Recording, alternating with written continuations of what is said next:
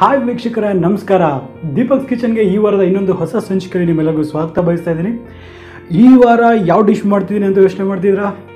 ನಮ್ಮ ಕರ್ನಾಟಕ, ಅದುವೇ ಉತ್ತರ ಕನ್ನಡ ಆಗಿರ್ಬೋದು ನಮ್ಮ ಮೈಸೂರು ನಮ್ಮ ಬೆಂಗಳೂರು, ಇಂಥ ಸೈಡಲ್ಲಿ ತುಂಬಾ ಫೇಮಸ್ ಆಗಿರ್ತಕ್ಕಂಥ ಒಂದು ರೆಸಿಪಿ ಇದೆ.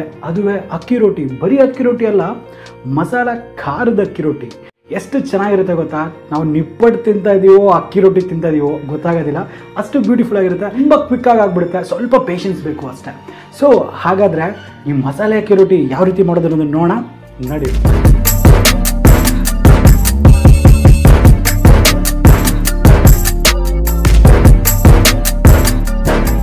ಈಗ ನಾವು ಈ ಅಕ್ಕಿ ರೊಟ್ಟಿ, ಅದುವೇ ಖಾರದ ಅಕ್ಕಿ ರೊಟ್ಟಿ ಮಾಡೋದಕ್ಕೆ ಮೊದಲನೇದಾಗಿ ಒಂದೂವರೆ ಕಪ್ನಷ್ಟು ಅಕ್ಕಿ ಹಿಟ್ಟನ್ನು ಹಾಕ್ಕೊತಾ ಇದ್ದೀನಿ.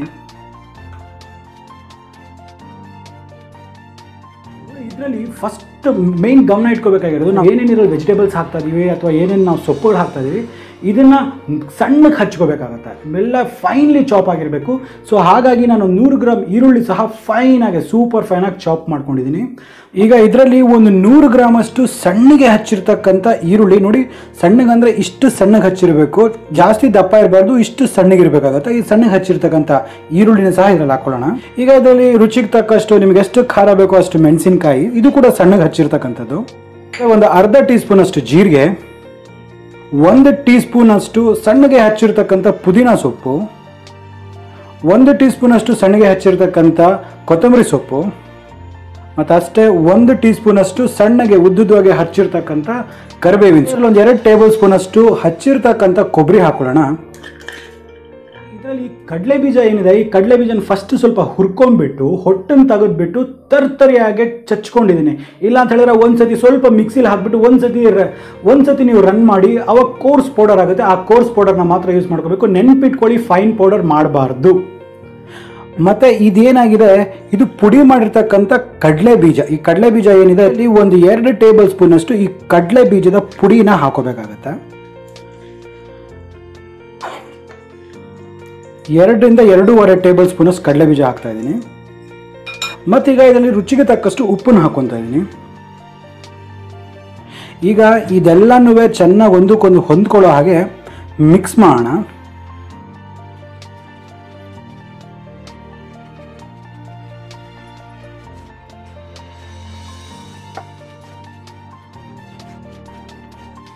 ನೋಡಿ ಇವಾಗ ಈ ಹಿಟ್ಟು ಕೂಡ ಚೆನ್ನಾಗಿ ಒಂದಕ್ಕೊಂದು ಚೆನ್ನಾಗಿ ಮಿಕ್ಸ್ ಆಗಿದೆ, ಒಂದಕ್ಕೊಂದು ಚೆನ್ನಾಗಿ ಹೊಂದ್ಕೊಂಡಿದೆ. ಒಳ್ಳೆ ಅಕ್ಕಿ ರೊಟ್ಟಿ ಏನಿದೆ, ಸ್ವಲ್ಪ ಕ್ರಿಸ್ಪಿಯಾಗಿ ಸಾಫ್ಟಾಗಿ ಬರಬೇಕು ಅಂತ ಹೇಳಿದ್ರೆ, ಇದರಲ್ಲಿ ಮೈನ್ ಟ್ರಿಕ್ ಬಂದ್ಬಿಟ್ಟು ನಾವು ಮಿಕ್ಸ್ ಮಾಡಬೇಕಂದ್ರೆ ಏನು ನೀರು ಯೂಸ್ ಮಾಡ್ತೀವಿ, ತಣ್ಣೀರನ್ನು ಯೂಸ್ ಮಾಡ್ತಾ ಇಲ್ಲ. ಇದನ್ನು ಚೆನ್ನಾಗಿ ಬಿಸಿ ನೀರು ಕುದಿ ಕುದಿತಾ ಇರ್ತಕ್ಕಂಥ ನೀರನ್ನು ಇಳಿಸ್ಕೊಂಡ್ಬಿಟ್ಟು ಆ ನೀರಲ್ಲಿ ನಾವು ಇದನ್ನು ಮಿಕ್ಸ್ ಮಾಡ್ಕೊತೀವಿ. ಆಗ ಮಾತ್ರ ನಮಗೆ ಆ ಕ್ರಿ ಔಟರ್ ಲೇಯರ್ ಏನಿದೆ ಔಟರ್ ಲೇಯರ್ನಾಗೆ ಕ್ರಿಸ್ಪ್ ಆಗೋದಕ್ಕೆ, ಚೆನ್ನಾಗಿ ಕುಕ್ ಆಗೋದಕ್ಕೆ ನಮಗೆ ಹೆಲ್ಪ್ ಮಾಡುತ್ತೆ. ಸೊ ಹಾಗಾಗಿ ನಾವು ಇದನ್ನು ಮಿಕ್ಸ್ ಮಾಡೋದಕ್ಕೆ ಬಿಸಿನೀರನ್ನು ಮಾತ್ರ ಯೂಸ್ ಮಾಡ್ತೀವಿ. ಇದು ಬಾಯ್ಲಿಂಗ್ ವಾಟರ್ ಬಿಸಿ ನೀರೇನಿದೆ ಬಿಸಿ ನೀರನ್ನ ಸ್ವಲ್ಪ ಸ್ವಲ್ಪವಾಗಿ ಆ್ಯಡ್ ಮಾಡ್ತಾ ಮಾಡ್ತಾ ನಾವು ಇದನ್ನು ಚೆನ್ನಾಗಿ ಮಿಕ್ಸ್ ಮಾಡ್ಕೋಬೇಕಾಗತ್ತೆ. ನೋಡಿ, ನೀರು ಬಿಸಿ ಇರುತ್ತೆ ಸೊ ಹುಷಾರಾಗಿ ಮಿಕ್ಸ್ ಮಾಡ್ಕೊಳ್ಳಿ. ಒಂದೇ ಸತಿ ಅಟ್ ಎ ಟೈಮ್ ನೀರು ಹಾಕಬಾರ್ದು.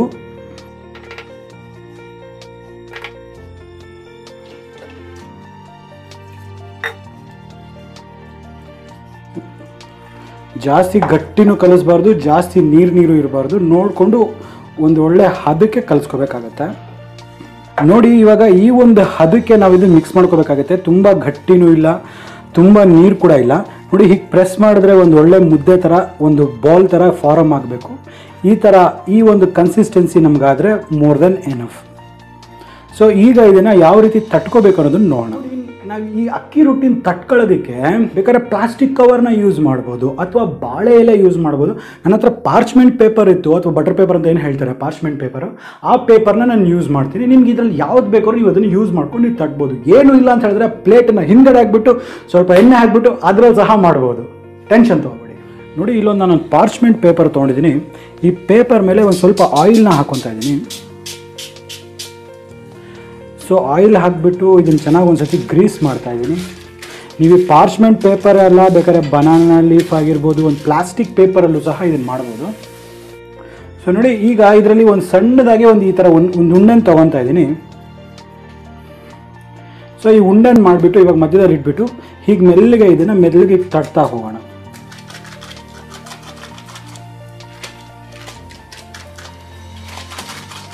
ನೋಡಿ ಇದನ್ನು ಮೆಲ್ಲಿಗೆ ಸ್ವಲ್ಪ ತೆಳ್ಳಗೆ ಇದನ್ನು ಒಪ್ಕೊತಾ ಬರಬೇಕು.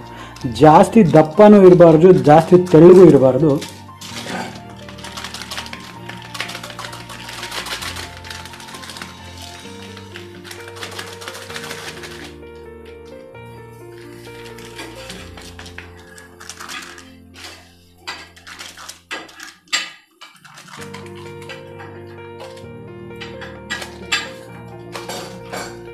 ನೋಡಿ, ಈಗ ಈ ಅಕ್ಕಿ ರೊಟ್ಟಿ ಇಷ್ಟು ತೆಳ್ಳಗೆ ತಟ್ಟಿದಾಗಿದೆ.